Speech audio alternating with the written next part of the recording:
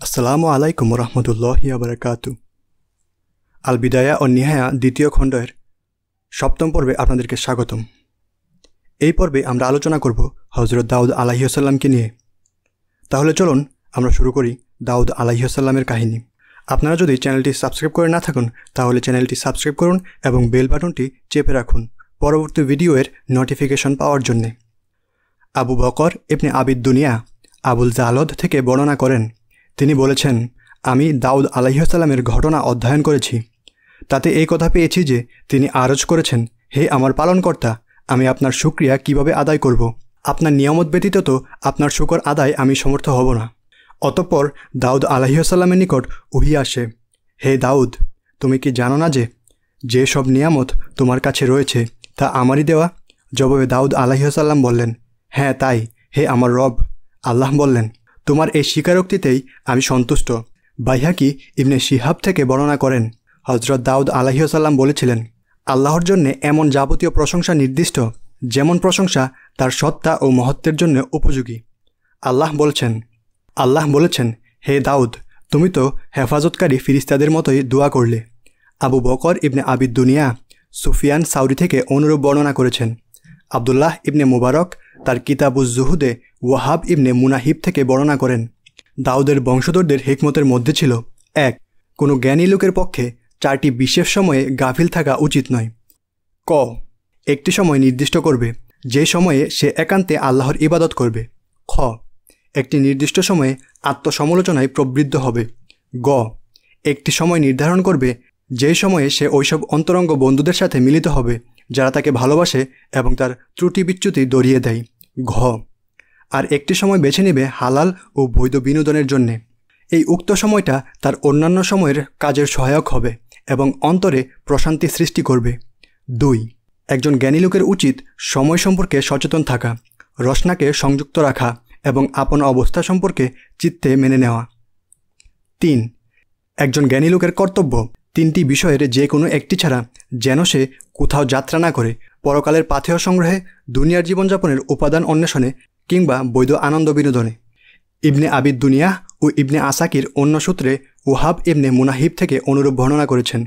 হাফিজ ইবনে আসাকি হজরত দাউদ আলাহিসাল্লামের কতগুলো শিক্ষামূলক উপদেশবাণী তার জীবনী আলোচনায় উল্লেখ করেছেন। তার কয়েকটি হল, এক, ইয়াতিমের সাথে দয়ালু পিতার মতো আচরণ। দুই, স্মরণ রেখো, যেমন বীজ বুনবে তেমন ফল পাবে। তিন, একটি গরিব পর্যায়ের মারফু হাদিসে বর্ণিত আছে হজরত দাউদ আলাহিসাল্লাম বলেছিলেন, হে পাপের চাষকারীরা ফসলরূপে তুমি কেবল কাটা আর খোসাই পাবে। চার, কোনো মজলিসে নির্বুধ বক্তা হচ্ছে মৃত্যের শিওরে গায়কের তুল্য।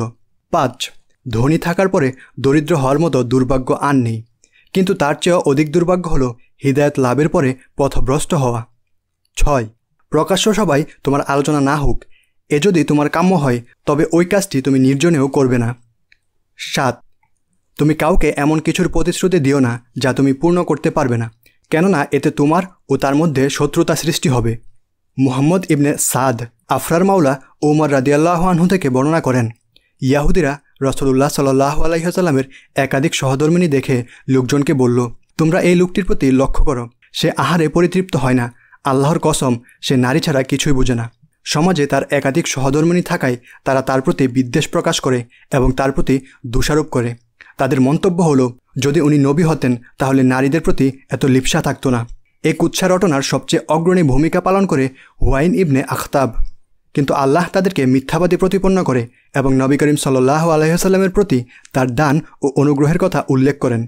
অথবা আল্লাহ নিজ অনুগ্রহে মানুষকে যা দিয়েছেন, সেই জন্যে কি তারা তাদের হিংসা করে? এখানে তালসা বা মানুষ অর্থ রাসুলুল্লাহ সাল্লাহ আলাইসাল্লামকে বোঝানো হয়েছে। তাহলে ইব্রাহিমের বংশধরকেও তো আমি কিতাব ও হিকমা প্রদান করেছিলাম, ও হিকমা প্রদান করেছিলাম এবং তাদেরকে বিশাল রাজ্য দান করেছিলাম। সুরানিসা আয়াত চৌন্ন ইব্রাহিমের বংশধর বলতে এখানে হজরত সোলাইমান আলাইহাসাল্লামকে বোঝানো হয়েছে।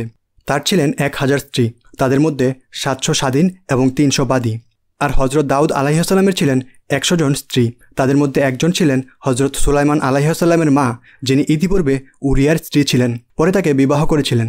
দেখা যাচ্ছে হজরত মোহাম্মদ সাল্লাহ আলাইসাল্লামের স্ত্রীর সংখ্যার তুলনায় তাদের সংখ্যা অনেক গুণ বেশি। কালবি রহিমুল্লাহও ঠিক এরূপ বর্ণনা করেছেন। হাফিজ ইবনে আসাকে তার ইতিহাস গ্রন্থে লিখেছেন, এক ব্যক্তি ইবনে আব্বাস রাদিয়াল্লাহ আনহুকে নফল রোজা সম্পর্কে জিজ্ঞাসা করলে তিনি বলেন, এ বিষয়ে আমার নিকট সংরক্ষিত একটি হাদিস আছে। আপনি যদি শুনতে চান, তবে আমি আপনাকে দাউদ আলাইসাল্লামের রোজা সম্পর্কে বলতে পারি। কেননা, তিনি অত্যন্ত বেশি রোজা রাখতেন এবং নামাজ আদায় করতেন। তিনি ছিলেন অত্যন্ত বীর পুরুষ। দুশ্মনদের বিরুদ্ধে মোকাবেলাকালে তিনি কখনও পালায়ন করতেন না। তিনি একদিন অন্তর অন্তর রোজা রাখতেন। রসুল্লাহ সাল্লাহ আলাইসাল্লাম বলেছেন, সবচেয়ে উত্তম রোজা হলো দাউদ আলাইসাল্লামের রোজা। তিনি সত্তরটি সুরে জাবর তিলাওয়াত করতেন। এগুলো তার নিজেরই উদ্ভাবিত স্বর। রাত্রে যখন নামাজে দাঁড়াতেন, তখন নিজেও কাঁদতেন এবং তাতে অন্য সব কিছু কাঁদত। তার মধুর সুরে সকল দুশ্চিন্তা ও ক্লান্তি দূর হয়ে যেত। তুমি আরও শুনতে চাইলে আমি তার পুত্র হজরত সুলাইমান আলাইসাল্লামের রোজা সম্পর্কেও বলতে পারি। কেননা, তিনি প্রতি মাসের প্রথম তিন দিন, মাঝের তিন দিন ও শেষের তিন দিন রোজা রাখতেন। এভাবে মাস শুরু হতো রোজার মাধ্যমে, মধ্যমাস অতিবাহিত হতো রোজা অবস্থায় এবং মাস শেষ হতো রোজা পালনের মাধ্যমে। তুমি যদি আরও শুনতে চাও, তবে আমি তোমাকে মহিয়সী কুমারী মাতা মারিয়াম আলাইসাল্লামের পুত্র হজরত ঈসা আলাইসাল্লামের রোজা সম্পর্কেও জানাতে পারি। তিনি সারা বছর ধরে রোজা রাখতেন জবের ছাতু খেতেন, পশমি কাপড় পরতেন, যা পেতেন তাই খেতেন, যা পেতেন না তা চাইতেন না। তার কোনো পুত্র ছিল না যে মারা যাবার আশঙ্কা থাকবে, কিংবা কোনো গড়বাড়ি ছিল না যে নষ্ট হবার আশঙ্কা থাকবে। যেখানে রাত হতো সেখানে নামাজে দাঁড়িয়ে যেতেন এবং ভোর পর্যন্ত নামাজরত থাকতেন। তিনি একজন ভালো তীরন্দাজ ছিলেন। কোনো শিকারকে লক্ষ্য করে তীর ছুড়লে কখনো তা ব্যর্থ হতো না। বনি ইসরায়েলের কোনো সমাবেশ অতিক্রম করার সময় তাদের অভিযোগ শুনতেন এবং প্রয়োজন পূরণ করে দিতেন। যদি তুমি আগ্রহী হও, আমি তোমাকে হজরত ঈসা আলাইহাসাল্লামের মা মারিয়াম বিনতে ইমরানের রোজা সম্পর্কেও বলতে পারি। কেননা তিনি একদিন রোজা রাখতেন এবং দুই দিন বাদ দিতেন। তুমি যদি জানতে চাও, তবে আমি তোমাকে নবী উম্মে আরবি হজরত মোহাম্মদ সাল্লাহ আলহিহাসাল্লামের রোজা সম্পর্কেও জানাতে পারি। তিনি প্রতি মাসে তিন দিন রোজা রাখতেন এবং বলতেন, এটাই গোটা বছর রোজা রাখার সামিল। ইমাম আহমদ আব্বাস রাদিয়াল্লাহ আনহু থেকে হজরত দাউদ আলাহিসাল্লামের রোজার বৃত্তান্তে মারফরূপে এটি বর্ণনা করেছেন।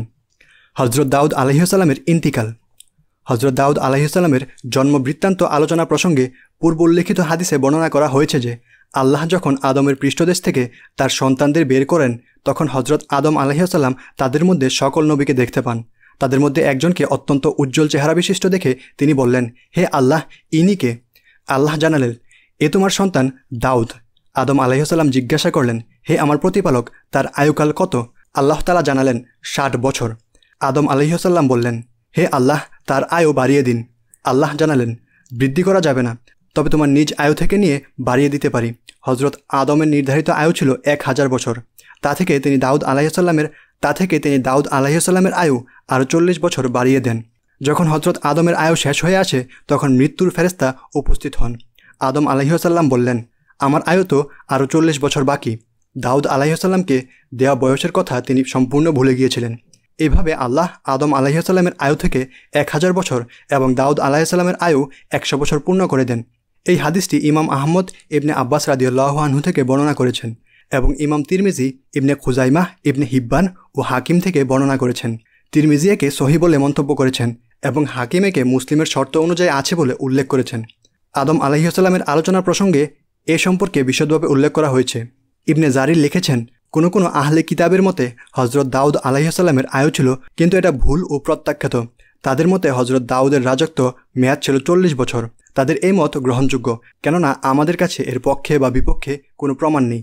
হজরত দাউদ আলাহিসাল্লামের ইন্তিকাল সম্পর্কে ইমাম আহম্মদ তার মুস্তাদ গ্রন্থে আবু হুরাইরা রাদি আল্লাহ আনহু থেকে বর্ণনা করেছেন যে রসুল্লাহ সাল্লাহ আলহিহাসাল্লাম বলেছেন, দাউদ আলাইহাসাল্লাম ছিলেন অত্যন্ত ব্যক্তিত্ব ও আত্মমর্যাদা সম্পূর্ণ। যখন তিনি বাইরে যেতেন, তখন ঘরের দরজা বন্ধ করে যেতেন, যাতে তিনি ফিরে আসা পর্যন্ত কেউ তার ঘরে প্রবেশ করতে না পারে। এভাবে একদিন তিনি ঘর থেকে বেরিয়ে গেলেন। ঘরের দরজা বন্ধ করে দেওয়া হলো। এ সময় তার স্ত্রী উকি দিয়ে দেখলেন যে, একজন পুরুষ লোক ঘরের মধ্যেখানে দাঁড়িয়ে আছে। তিনি প্রহরীকে জিজ্ঞাসা করলেন, এই লোকটিকে তালাবদ্ধ করে কীভাবে প্রবেশ করল? কসম আল্লাহর। নবী দাউদ আলাহিসাল্লামের কাছে আমরা লজ্জায় পড়ব। এমনই সময় হজরত দাউদ আলাইসাল্লাম ফিরে এলেন এবং দেখলেন ঘরের মধ্যেখানে একজন পুরুষ দাঁড়িয়ে আছে। দাউদ আলাইসাল্লাম জিজ্ঞাসা করলেন, তুমি কে? লোকটি বললেন, আমি সেই জন যে কোনো রাজা বাচ্চাকে তোয়াক্কা করে না এবং কোনো আড়ালি তাকে আটকাতে পারে না। দাউদ আলাইসাল্লাম বললেন, আল্লাহর কসম, তাহলে আপনি নিশ্চয়ই মালাকুল মাউত। আল্লাহর নির্দেশ পালনের জন্য আপনাকে স্বাগতম। এর অল্পক্ষণ পরে তার রুহ কবচ করা হয়, অতপর তাকে গোসল দেওয়া হয় এবং কাফন পরানো হয়। ইতিমধ্যে সূর্য উদিত হলো। তখন সুলাইমান আলাইহাসাল্লাম পাখিদের উদ্দেশ্যে বললেন, তোমরা দাউদ আলাইসাল্লামের উপর ছায়া করে রাখো। পাখিরা তাই করল। সন্ধ্যা হলে হজরত দাউদ আলাইহাসাল্লাম পাখিদেরকে বললেন, তোমরা এখন পাখা সংকুচিত করে নাও। আবু হুরাইরা রাদিউল্লাহ আনহু বলেন, পাখিরা কীভাবে তাদের পাখা মেলেছিল এবং কীভাবে বন্ধ করেছিল তা তিনি নিজ হাত দিয়ে আমাদেরকে দেখাতে লাগলেন। দাউদ আলাইসাল্লামের উপর ওই দিন ছায়দানে দীর্ঘ ডানা বিশিষ্ট বাজ পাখির ভূমিকায় প্রদান ছিল। ইমাম আহমদ একাই এই হাদিসটি বর্ণনা করেছেন, তবে এর সনদ উত্তম এবং বর্ণনাকারীগণ নির্ভরযোগ্য। সুদ্দিহ ইবনে আব্বাস রাদিউল্লাহ আনহু থেকে বর্ণনা করেন, দাউদ আলাহিসাল্লাম আকস্মিকভাবে ইন্তিকাল করেন। তার মৃত্যুর দিন ছিল শনিবার, পাখিরা তার দেহের উপর ছায়াদান করেন। ইসহাক ইবনে বিশর হাসান থেকে বর্ণনা করেন যে, দাউদ আলাহিসাল্লাম একশো বছর বয়সে হঠাৎ এক বুধবারে ইন্তিকাল করেন। আবু সাকান আল হাজারি বলেছেন হজরত ইব্রাহিম খলিল হজরত দাউদ ও তদীয় পুত্র সুলাইমান আলাইহসাল্লাম তিনজনের মৃত্যুই আকস্মিকভাবে হয়েছিল। এই বর্ণনাটি ইবনে আসাকিরেরও। কারও কারও বর্ণনায় আছে যে, একদা হজরত দাউদ আলাইহসাল্লাম মিহবার থেকে নিচে অবতরণ করছিলেন। এমন সময় মৃত্যুর ফিরিস্তা তার সম্মুখে এসে উপস্থিত হন। হজরত দাউদ আলাহিসাল্লাম তাকে বললেন, আমাকে নিচে নামতে বা উপরে উঠতে দিন। তখন ফিরিস্তা বললেন, হে আল্লাহর নবী আপনার জন্য নির্ধারিত বছর, মাস, দিন ও রিজিক শেষ হয়ে গিয়েছে। এই কথা শুনেই দাউদ আলাহিসাল্লাম সেখানেই একটি সিঁড়ির উপর সিজদায় লুটিয়ে পড়েন এবং সিজদারত অবস্থায় তার রুহ কবচ করা হয়। ইসহাক ইবনে বিশর, ওয়াহাব ইবনে মুনাহিবের সূত্রে বর্ণনা করেন, গ্রীষ্মকালে রৌদ্রতাপের মধ্যে লোকজন হজরত দাউদ আলাহিসাল্লামের জানাজায় শরিক হয়। সেই দিন তার জানাজায় এত বেশি লোক সমাগম হয়েছিল যে সাধারণ লোক ছাড়া কেবল যাজকদের সংখ্যায় ছিল চল্লিশ হাজার। এরা সবাই ছিল লম্বা টুপি তথা বুর্নুসি টুপি পরিহিত। মুসাহ ও হারুন আলাইসাল্লামের পরে বনি ইসরায়েলের মধ্যে দাউদ আলাইসাল্লামের জন্যে যে সুখ তা প্রকাশ করা হয়, তা আর কারও জন্যে করা হয়নি। জানা যায় উপস্থিত লোকজন রৌদ্রতাপে কষ্ট পাচ্ছিল, তাই রৌদ্র থেকে বাঁচার জন্যে হজরত সুলাইমান আলাইহাসাল্লামকে ব্যবস্থা গ্রহণের অনুরোধ জানায়। সুলাইমান আলাইহাসাল্লাম বের হয়ে পক্ষীকুলকে আহ্বান করলেন। পক্ষীকুল তার আহ্বানে সাড়া দেয়। তিনি লোকেদের ছায়াদানের জন্যে তাদেরকে নির্দেশ দেন। ফলে পক্ষীকুল পরস্পর মিলিত হয়ে পাখা মেলে চারদিক থেকে এমনভাবে ঘিরে দাঁড়াল যে সে স্থানে বাতাস চলাচল বন্ধ হয়ে যায়। এমনকি লোকজন শ্বাসরুদ্ধ হয়ে মরে যাবার উপক্রম হয়। তারা এই অবস্থা থেকে মুক্তি লাভের জন্য চিৎকার করে সোলাইমান আলাহিসাল্লামকে ফরিয়াদ জানালো। সোলাইমান আলাহিসাল্লাম বের হয়ে পাখিদেরকে ডেকে বললেন, তোমরা সূর্যের তাপ যে দিক থেকে আসে সেই দিকে ছায়া দাও, আর যেই দিক থেকে বায়ু প্রবাহিত হয় সেই দিক থেকে সরে যাও। পাখিরা তাই করল। তখন লোকজন একদিকে ছায়ার নিচে থাকে আর অন্যদিকে তাদের উপর দিয়ে বাতাস প্রবাহিত হতে থাকে। এটাকেই মানুষ সুলাইমান আলাহিসাল্লামের কর্তৃত্বের প্রথম নিদর্শন হিসাবে দেখতে পাই হাফিজ আবু ইয়ালা রহিমুল্লাহ আবু দারদার রাজিউল্লাহ আনহু থেকে বর্ণনা করেন যে, রসলুল্লাহ সাল্লাহ আলহিহাসাল্লাম বলেছেন, আল্লাহ হজরত দাউদ আলাহিহাসাল্লামকে তার সঙ্গীদের মাঝ থেকে তুলে নেন। তারা কোনো ফিতনায় পতিত হয়নি এবং দাউদের দিনকেও পরিবর্তন করেননি। আর মাসিহ এর শিষ্যরা তার বিধান ও প্রদর্শিত পথের উপর দুইশো বছর বহাল ছিল। এই হাদিস গরিব পর্যায়ের, এটা মারফু কিনা এই ব্যাপারে সন্দেহ আছে। এর সনদে ওয়াহিদ ইবনে আতাহ হাদিস বর্ণনায় দুর্বল। আসসালামু আলাইকুম রহমতুল্লাহি আবরাকাতু এই পর্বটি আমরা এখানে শেষ করছি। পরবর্তী পর্ব পাবার জন্যে চ্যানেলটি সাবস্ক্রাইব করুন এবং বেল বাটনটি চেপে রাখুন। ধন্যবাদ। জাজাকল্লাহ খাইরন